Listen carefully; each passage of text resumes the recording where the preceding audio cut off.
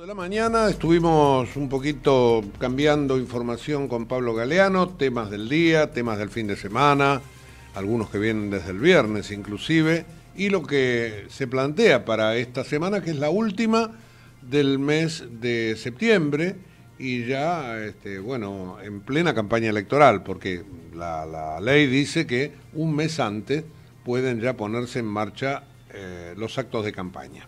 Algo hubo este fin de semana, fundamentalmente Cristina Fernández de Kirchner produjo un par de, actos que, le dan mucha visibilidad. Eh, bueno, ella el día viernes dio una entrevista radial este, con Víctor Hugo Morales, este, algo que dio mucha tela para, para cortar en cuanto al discurso de la expresidenta durante el fin de semana y esto lo manifestó nuevamente en estos actos mucho más masivos.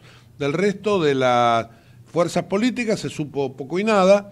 De hecho, el, el, gobierno siguió con la política de los timbreos, tratando de acomodar un poco las cargas en la provincia de Buenos Aires, allí donde la gobernadora Vidal y el presidente Macri estarán permanentemente detrás de Esteban Bullrich este, para este, apuntalarlo.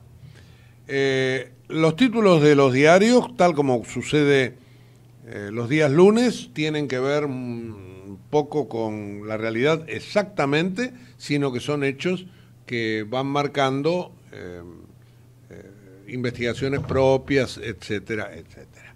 Así que les puedo comentar, por ejemplo, La Nación trae un título que es propio, el gobierno relanza con la CGT un plan de salud universal, es muy interesante porque alcanzaría 15 millones de personas, dice el diario, que no tienen cobertura. ¿eh? Las obras sociales sindicales aportarán 8 mil millones y esto implica un nuevo acercamiento del gobierno con los gremios. Así que me parece que paro de la CGT antes de, de las elecciones este, ha quedado desactivado. Eh, voy por otro tema que está en la tapa de Clarín, después este, lo vamos a hablar más tarde con Rafael Saralegui, fuerte señal de la Corte para apurar los juicios por casos de corrupción. Eh, desde agosto hubo una docena de pedidos de varios imputados para demorar los plazos procesales.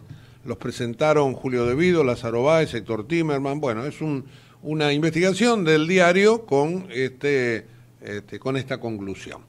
Eh, algo que tiene mucho más visos de información es una nota de Hernán Capielo en la tapa del diario La Nación, también eh, sobre una cuestión estrictamente judicial que, tiene este, su pata puesta en la política, pedirá al fiscal Moldes la detención de debido. Esto es en el caso de Río Turbio.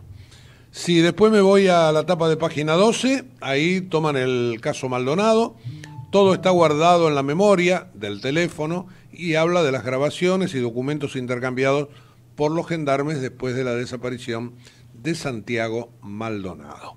La tapa de ámbito financiero, el gobierno no habilitará este año cláusula gatillo. La verdad que en este caso es una especulación propia, porque este, dice que de alguna manera no las va a avalar en el caso de, la, de las paritarias para el año 2018. Les puedo asegurar que o por lo menos la información que tengo yo, es que el gobierno está chocho con lo que ha pasado este año con respecto a las cláusulas gatillo. Pero para ámbito no las va a volver a habilitar para el año que viene. Después tiene dos investigaciones propias. Impuestos 1. ¿Quién paga la renta financiera? Según el mercado, el nuevo impuesto que analiza el gobierno afectará directamente al usuario. Esto está este, también eh, expuesto en las páginas interiores. Impuestos 2 cómo es el ajuste de activos. ¿Eh? Otro tanto en esta nota, también en este informe de investigación. Y por el lado del cronista comercial, constructoras esperan que nuevos créditos del Nación generen un boom de obras. Eh, bueno, en este caso es para aquellos que desde el pozo quieren construir para privados. El crédito es para las constructoras, ¿eh? en este caso aunque hay otro crédito que está dando por otro lado este, el plan Procrear, que apunta a los más jóvenes, a los que tienen pocos ingresos, y también, y esta es la gran novedad, a aquellos que trabajan en negro. Así que bueno, sobre estos temas vamos a tratar de pivotear durante, durante la mañana.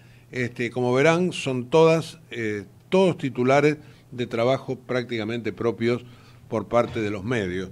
Eh, yo diría que en todo caso, la noticia más fuerte de todas las que se conocen hoy es algo que sucedió ayer en Alemania, que fue el caso de Angela Merkel, que por cuarta vez ha sido electa para conducir el gobierno de Alemania durante los próximos años, pero apenas con 34% de los votos. Y le ha dejado una ventana de más de 13% a un partido eh, xenófobo de derecha, eh, algunos caracterizan como neonazi, pero que es hoy por hoy una gran preocupación en Europa. Va a meter además 90 diputados en el Parlamento alemán. Así que este me parece que también es otro tema central del día. Todavía no he mirado los mercados, pero debe tener eh, en Europa sobre todo gran correlato sobre el precio del euro, que se había venido fortaleciendo y que me parece que después de esto va a tener alguna complicación.